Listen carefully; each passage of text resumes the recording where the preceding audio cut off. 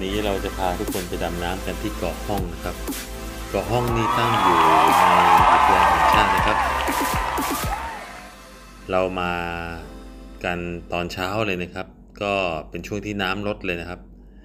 น้ำลดก็แน่นอนครับ น้ำก็ใสอยู่นะครับ เราก็จะไปดำดู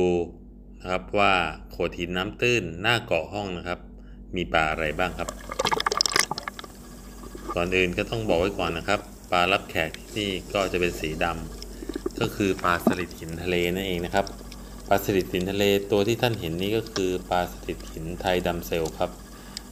น่าจะมีอยู่ที่ที่ประเทศไทยอย่างเดียวนะครับ เพราะว่าชื่อมันก็บอกอยู่ว่าไทยดำเซล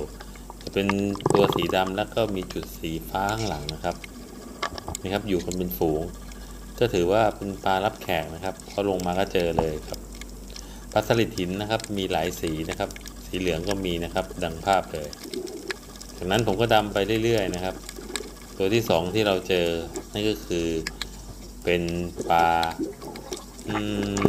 ปลาอะไรนะลองดูใกล้ๆนะครับอ๋อปลาปลากระเป้าหน้าหมานั่นเองนะครับ ที่เขาเรียกมันหน้าหมาเพราะหน้ามันเหมือนสุนัขเลยนะครับ ตาดำจมูกดำก็ว่ายหนีอย่างรวดเร็วเหมือนกันนะครับก็น่ารัก ตัวที่ 3 ที่เราเจอนะครับ ปลาเทวรูปครับ ปลาเทวรูปนี่ก็สีสันสวยงามครับ จัดเป็นปลาตู้ ใครดูเรื่องไฟนั่นนีโมก็จะเห็นปลาตัวนี้อยู่ในตู้ปลานะครับ ปลาผีเสื้อสีเหลืองนี่คือปลาผีเสื้ออันดามันครับ แน่นอนมันก็อยู่ที่ฝั่งอันดามันอย่างเดียว แล้วก็ข้างหลังนั่นก็สีผีเสื้อ 8 ขีดครับ พวกนี้ก็จะอยู่ที่ปะการังนะครับปะการังที่เห็นก็คือปะการังโต๊ะนะครับ ลักษณะเหมือนโต๊ะเลยนะครับเนี่ยนี่มันว่ายเข้าไปอยู่ใต้โต๊ะแล้วปะการังโต๊ะนี่ครับก็เป็นแหล่งอนุบาลของปลาผีเสื้อต่างๆนะครับนี่ครับดูความใหญ่ของมันก็เหมือนโต๊ะเลยนะครับ จากนั้นว่ายมาก็จะเจอปลานกแก้วแก้มส้มครับนกแก้วแก้มส้มก็ตัวผู้ตัวเมียก็จะว่ายอยู่ด้วยกันนะครับ ลักษณะก็ ตกต่างกันนะครับ ตัวผู้ก็สีจะสวยนะครับ ตัวเมียก็จะจืดๆหน่อยครับว่ายอยู่ด้วยกันไอฝูงปลาเล็กๆข้างๆนั่นก็คือปลาสลิดหินนะครับ ก็ว่ายตามกันไปนะครับ หากินร่วมกัน คืออาหารเขาจะอยู่บนแนวปะการังอยู่บนโขดหินปะการังก็เป็นอาหารประเภทเดียวกันนะครับเขาก็กินประเภทเดียวกันนะครับก็ปลานกแก้วก็จะกินสาหร่ายต่างๆที่ อยู่ในที่ปะการังที่ตายแล้ว ก็เช่นเดียวกับปลาสลิดหินนะครับ ก็รวมฝูงกันครับ หากินกันแบบรวมฝูงนะครับ ถ้าเกิดเป็นเทียบสัตว์ป่าก็คือ ฝูงกวางกับฝูง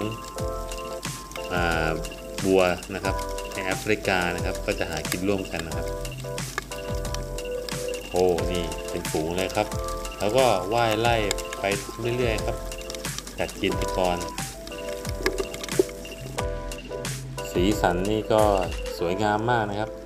ปลานกแก้วในฝั่งอันดามันก็จะมีหลายพันนะครับนี่คือตัวเมียครับตัวเมียจะสีอ่อนกว่า ตัวผู้จะจัดจ้านหน่อยครับ ที่เกาะห้องนี้ครับก็สามารถดำน้ำตื้นได้ในอ่าวนะครับ แล้วก็ก็ช่วงเช้าๆนี่ครับ ก็จะมีฝูงปลาออกมาหากินนะครับ น่ารักทีเดียว ยายามซูมไปใกล้ๆนะครับคีบเขาจะเป็นสีฟ้านะครับ คือสังเกตในปลานกแก้วนะครับ ที่เขาเรียกนกแก้วก็คือมีหลากสีคล้ายๆกับนกแก้วนั่นเองนะครับ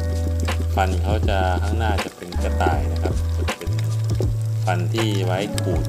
ขูดกับการังนะครับคล้ายๆจอบสองอันติดกันนะครับ คือ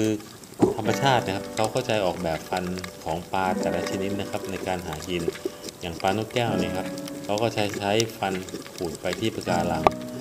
ถ้าเกิดเราได้ยินเสียง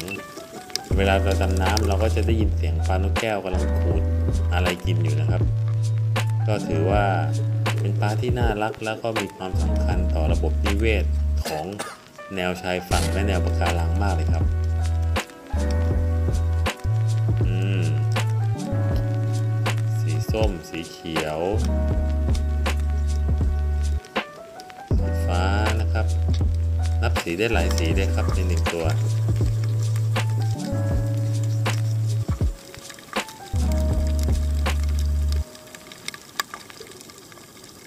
จากนั้นก็มาสังเกตปลาที่มุดมุดน้ำอยู่ตรงหัวมุมคาลังนะครับ ก็เป็นปลาเก๋านะครับปลาเก๋าสองตัวนะครับกำลังดักตุ้มเหยื่ออยู่นะครับ ครับก็หมายถึงว่าช่วยกันนะครับ ตัวนี้ก็ดักอยู่อีกทางหนึ่งก็หากินปลาเล็กครับเขินผมก็หนีไปแล้ว ครับปะการังนะครับ เป็นแหล่งหากินของปลาทะเลได้นะครับ ว่าเขาจะมีทั้งผู้ล่าและผู้ถูกล่า อันนี้ปะการังเขากวางที่เกาะห้องนะครับ แต่ว่าใครอยากดูต้องมาลึกหน่อยนะครับว่ายมาที่ขอบขอบนะครับ ก็จะเจอปลารับแขกนะครับ ก็คือปลาสลิดหินลายบ้างนะครับ สลิดหินลายบ้างนี่ก็รับแขกแน่นอนครับ แล้วก็มาสังเกตที่เชือกนะครับ ก็จะมีปลาเบนนี่ตัวเล็กนะครับ เบนนี่ตัวนี้ก็เป็นที่ชื่นชอบของนักถ่ายรูปที่ใช้เลนส์มาโครนะครับ เพราะว่าเขามีความมีมีความน่ารักนะครับ ปากเขาเล็กๆไอตัวนี้ที่วิ่งไล่กันก็คือปลาผีเสื้อนกกระจิบครับ เจอได้ทั้งอ่าวไทยและอันดามันเลย นะครับ จากนั้นเราก็ว่ายตามขอบตามขอบหน้าผาครับนี่ครับสลิดหินเหลืองนะครับ โอ้แล้วก็มีฝูงปลานะครับฝูงปลาพวกนี้ก็คือฝูงปลาสลิดหินหางผิวนะครับ จากนั้นผมก็ว่ายมาตรงกลางนะครับ มาเจอไอเทมเด็ดของเกาะห้องครับ ก็เลยต้องถ่ายรูปไว้หน่อยก็คือกระปังหากับอ่ากอนีโมนี้ครับ แล้วก็เจ้านีโมตัวนี้ก็จะขี้อายมากนะครับ ก็อาศัยอยู่กับปังหากระปังหาสีชมพูนะครับ ก็ใครมาเกาะห้องนะครับ มองตรงไปกลางอ่าวเลยครับว่ายไปประมาณอ่าสิบเมตรครับสิบถึงยี่สิบเมตรนะครับ ก็จะเจอนะครับเกาะนี้ครับ ก็เขาอาศัยอยู่ตรงกลางเลยครับ ตรงกลางอ่าวของเกาะห้องเลยครับนะครับปลาการ์ตูนส้มขาวครับ คือกอนี้ก็จะมีวานพ่อแม่ลูกประมาณ 6 ตัวนะครับ แต่เขาไม่ให้เราเห็นนะครับเขาอาจจะเบื่อนักท่องเที่ยวก็ได้ ที่มันมาถ่ายรูปกันประจำนะครับ ก็เลยหลบไปซะเลยนะครับเนี่ยครับเห็นแวบๆนะครับ คือปลาการ์ตูนลายบ้างนะครับเขาจะอาศัยอยู่ที่ดอกไม้ทะเล ที่หนวดยาวๆหน่อยนะครับ ซึ่งแตกต่างกับปลาการ์ตูนพันธุ์อื่นนะครับไอตัวเนี้ยนะครับ ไอนีโมนะครับก็จะอาศัยอยู่ที่ดอกไม้ทะเลฐานม่วงครับ แต่อันนี้ไม่น่าไม่น่าจะฐานม่วง ฐานม่วงดอกไม้ทะเลฐานม่วงก็คือ ฐานก็จะเป็นสีม่วงครับ ผมก็มาให้แฟนฝึกดำน้ำลึกด้วยนะครับ ดำน้ำแบบฟรีไดฟ์นะครับ ก็มุดมุดผุดผุดๆกันสองคนนะครับ ก็หาปลาหาอะไรไปกัน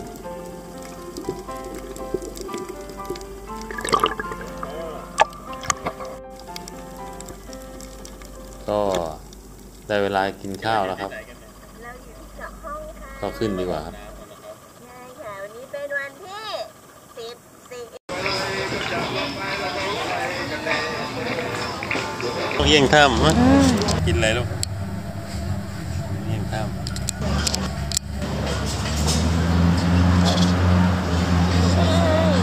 นี่นกเอี้ยงถ้ำตัวเมียอ๋อเอ้ยลายคอน่ารักอะ เออ เคยเห็นแต่นกเอี้ยงบ้านนกเอี้ยงถ้ำตัวผู้มันจะตัวดนี่น่ารักหนูเอาโยนลาคอโยนอะไรลายให้มันคอกินไหมเขาน่ารักเดี๋ยวเดี๋ยวอันนี้ำนี่เอาไปเอี้ยงนี่ลูกอะเอี้กิยนงบนี่อกไม่เป็นหรอกปลาหมึกกินในกุ้งเนี่ยเอ้ยมันชอบหนูกินน้ำแตงโมกินน้หรือสีแดง พี่สีเหลืองอาชนแก้ววาเลนไทน์นะครับติ๊ง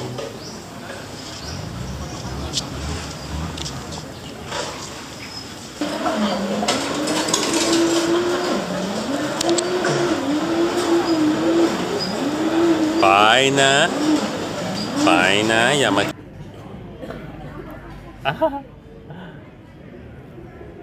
ำน้อง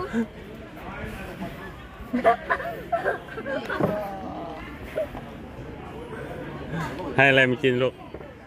What are you doing? What are you doing? It's the banana. No. ¿Cómo? ¿Cómo? ¿Cómo? ¿Cómo?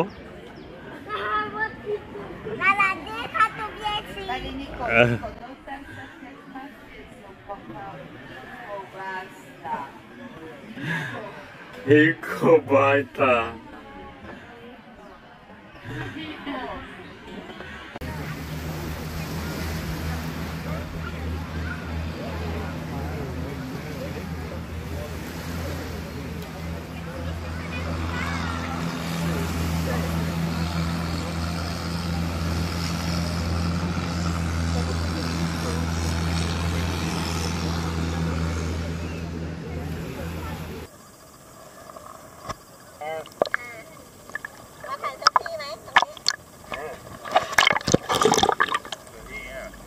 จาก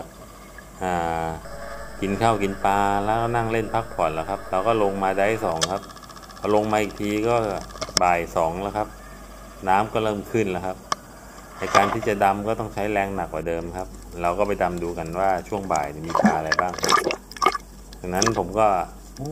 พาน้องอุ้มครับไปดำครับเขาก็ฝึกการดำน้ำลึกครับ ไม่ใช่ก็ตัวแรกก็เจอก็ปลาผีเสื้อครับ ว่ายหนีไปแล้วครับผีเสื้อหลังดำนะครับ ก็ถ่ายไม่ทันตามเคยครับกลัว ก็ฝึกซ้อมฟรีได้นะครับ เพื่อเป็นการชำนาญเบื้องต้นนะครับ ก่อนที่จะไปเรียนฟรีได้จริง ๆ และที่น่าตื่นเต้นนะครับ ที่ผมก็เห็นปลาตัวนี้ครับ เป็นปลาฝูงนะครับ เป็นกลุ่มของปลาทูน่านะครับ หรือปลาแมคคาเรลนะครับเขาก็จะหากินแบบกอง กองนะครับถ้าจะเป็นปลาทูนะครับ เขาจะอ้าปากตลอดเวลานะครับ เพื่อกรองเอาสิ่งมีชีวิตเล็ก ๆ นะครับ พวกแพนต้อนนะครับกินนะครับตรงนี้จะคันมากเลยครับ คือน้ำตรงเนี้ยมันลึกหน่อย แล้วก็จะมีสิ่งมีชีวิตเล็กๆที่ลอยมาเป็นกลุ่มนะครับ ตามกระแสคลื่นแล้วปลาที่มาหากินก็เนี่ยครับปลาปลาแมคคาเรลนะครับ หรือปลาทูบ้านเราเนี่ยครับ เขาก็จะอ้าปากนะครับ เพื่อกรองนะครับ คือหากินแบบฉลามวาฬเลย ทริปนี้เราก็จะมาตามหาฉลามวาฬนะครับ แต่ก็ไม่เจอนะครับปลาฉลามวาฬที่ติดเชือกนะครับ ผมเนี่ยเตรียมเครื่องมือมาเพื่อจะช่วยตัดเชือกที่หางปลาฉลามวาฬเลยนะครับ แต่ก็ไม่เจอครับเขาคงว่ายไปไกลแล้วครับ ก็มาเจอไอ้เจ้านี่แทนนะครับ คือหากินแบบฉลามวาฬหากินแบบฉลามวาฬยังไงก็คือเขาจะอ้าปากเพื่อกองกิน นต้อนครับ ตัวนี้ก็ผิวน้ำครับปลาเต็กเล้งครับเนี่ยครับก็อยู่ดูเขาอีกนานครับเขาหากินร่วมกับปลาหางเหลืองครับปลาหางเหลืองก็สวยนะครับว่ายช้าๆก็สองปลานี่ครับถือเป็นปลาเศรษฐกิจถ้าเกิดมีอวนมีอะไรเนี่ยครับ ชาวประมงก็จะจับไปขายในตลาดนะครับซึ่งอร่อยครับ ทอดเป็นปลาปลาทูเรานี่เองนะครับ ซึ่ง เราก็ดีใจนะครับที่ได้มาเจอวิธีการหากินของเขานะครับ คือเขากินเศษอาหารเล็กๆนะครับ ใคร ใครกินปลาทูนะครับ ก็เลยซื้อปลาสดๆมาแล้วลองแหกเหงือกเขาดูครับ เหงือกเขาจะเป็นริ้วๆนะครับ นั่นแหละครับคือที่เขาใช้ไว้กรองนะครับ ไว้กรองอาหารนะครับ เพื่อกินนะครับ ก็รวมฝูงกันเป็นเกือบเป็นสองร้อยสามร้อยตัวเลยครับ ก็ตื่นเต้นครับนักท่องเที่ยวมาก็มาไหว้มาดูตรงจุดนี้ก็ทนกับลูกแมงกะพรุนหน่อยครับจะคันหน่อยครับ เพราะว่าเขาลอยมาตามอาหารของปลาพวกนี้ครับ น่ารักทีเดียวครับ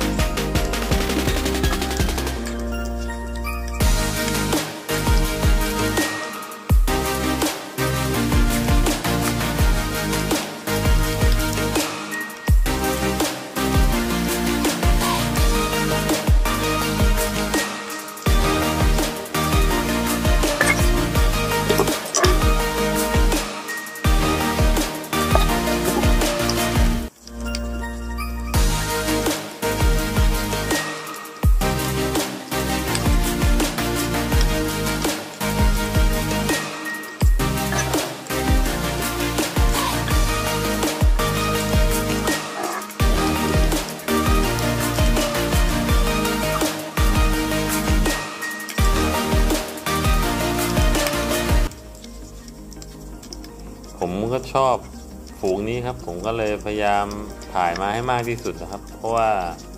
เป็นภาพที่หายากเหมือนกันครับ เพราะว่าจะเกิดขึ้นในกลางทะเลลึก แต่ว่ามันอยู่ใกล้ๆฝูงนี้ครับอยู่ใกล้ๆเกาะห้องครับ ตรงปลายด้านด้านด้านซ้ายมือนะครับเกิดหันหน้าออกจากเกาะนะครับถ้าใครมาดำน้ำที่เกาะห้อง อยากจะเห็นพฤติกรรมการกินอาหารของปลาฝูงนะครับ ก็ลองว่ายออกไปลึกหน่อยนะครับ ก็ตรงทุ่นนะครับ ตรงทุ่นเชือกนะครับ ก็จะมีฝูงปลาพวกนี้หากินอยู่ครับ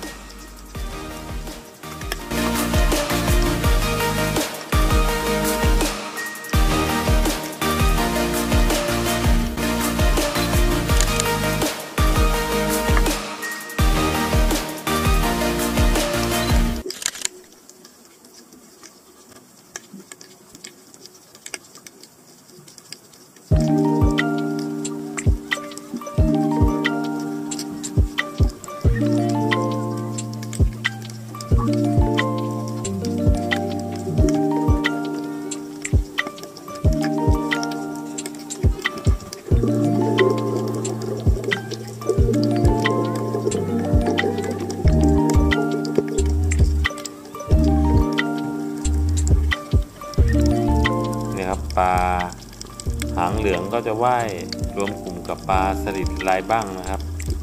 นี่ครับเป็นการแบบ เป็นการรวมฝูงกันเพื่อหาอาหารอีกกะอย่างหนึ่งนะครับ กลางน้ำนะครับ เมื่อกี้ต้นคลิปเราก็จะเห็นปลานกแก้วกับปลาสลิดหินนะครับ หากินร่วมกันแล้ว และอันนี้ก็กลุ่มนี้ก็คือปลาสลิดหินลายบะสลิดหินทะเลลายบ้างครับปลาหางเหลืองแล้วก็ปลาทูนะครับที่หากินร่วมกันนะครับ ก็ถือว่าเป็นการรวมฝูงเพื่อหากินเหมือนกันนะครับ จากนั้นเนี่ยครับ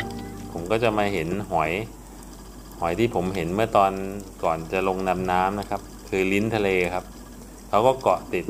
ตามช่องนะครับ ซึ่งลิ้นทะเลเนี่ยก็เป็นหอยชนิดหนึ่งนะครับ